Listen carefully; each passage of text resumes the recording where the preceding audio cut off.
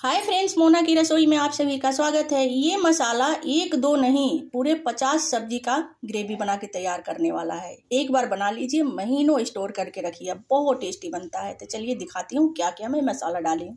सभी मसाले पंसारी की दुकान पे मिल जाते हैं आसानी से। तो ये है बीस ग्राम धनिया खड़ा, बीस ग्राम छोटी इलायची। ये बीस ग्राम चकरी है। ये बीस ग्राम दालचीनी। ये बीस ग्राम सा जीरा है। ये बीस ग्राम जीरा है।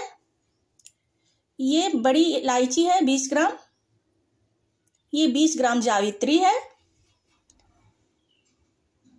ये बीस ग्राम लौंग है। ये बीस ग्राम गोल मरीच इसको बोलते हैं, ब्लैक पेपर है। और तेज पत्ता है। ये दो हरे है, इसको हरे बोलते हैं, इसको हम कूट लेंगे। ऐसे ही बनाएँ, बहुत टेस्टी आपका सब्ज़ी बनेगा। सबको हम एक जगह डाल लूँगी छोटा छोटा टुकड़ा करके।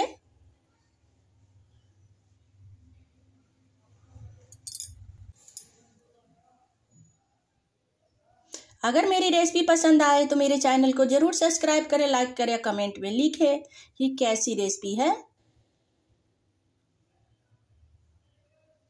सबको हम डाल के इसको हम दो से तीन बार अच्छे से पीस लेंगे मिक्सर ग्राइंडर में। ये पाउडर फॉर्म में हो जाएगा तो इसको एक जार में रख दे। महीनों के लिए छुट्टी हो जाता है और कोई भी मसाले की ज़रूरत नहीं पड़ेगी आपको। ये डाल दीजिए, सभी सब्ज़ी एकदम मस्त बन के तैयार होगा। इसको हम अच्छे से कूट लेंगे हरे को, ताकि पिसने में आसानी से पिस जाए।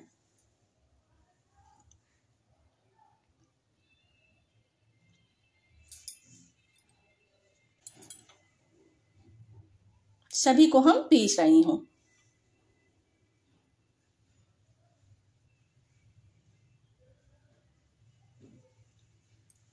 इसको पीस के हम दिखाऊँगी आप लोगों को कि कितना बढ़िया पाउडर बन गया है। इतनी अच्छी खुशबू आती है कि क्या बताएँ।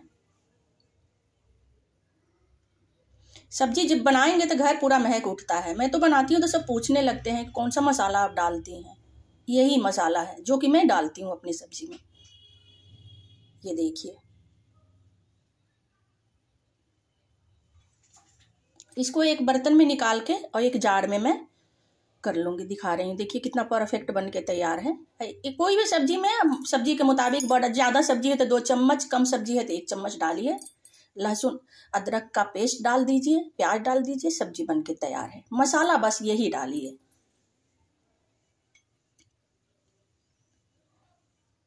चिकन, मटन, नॉन कुछ भी आप बना सकते हैं।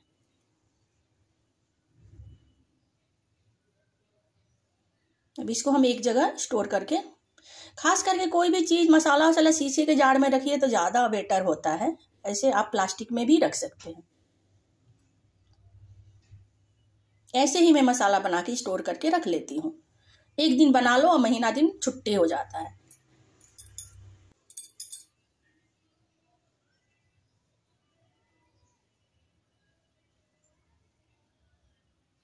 ऐसे ही आप लोग भी बनाइए इंजॉय करिए। Thank you so much